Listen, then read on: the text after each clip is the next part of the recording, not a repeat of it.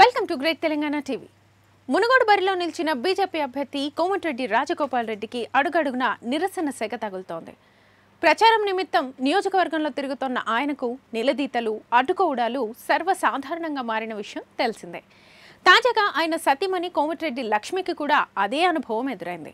మాజీ మంత్రి డీకే అరుణతో కలిసి కోమటిరెడ్డి సతీమణి చౌటుప్పల్ మండలం చిన్న కొండూరులో ప్రచారం నిర్వహిస్తున్నారు. ఈ సందర్భంగా గ్రామస్తులు లక్ష్మిని అడ్డుకున్నారు. Lakshmi go back BJP go back అంటూ నినాదాలు చేశారు. గత ఎన్నికల సందర్భంగా గ్రామాభివృద్ధికి ఇచ్చిన మాటను విస్మరించారని నిలదీశారు. టీఆర్ఎస్పై విమర్శలు చేయబోయిన డీకే అరుణపై ప్రజలు ఆగ్రహం వ్యక్తం చేశారు. చేసేదేం లేక వారు తమ ప్రచారాన్ని ముగించుకొని అక్కడి నుంచి వెనుదిరిగారు. పోలీసులు జోక్యం చేసుకుని పరిస్థితిని చక్కదిద్దే ప్రయత్నం చేశారు.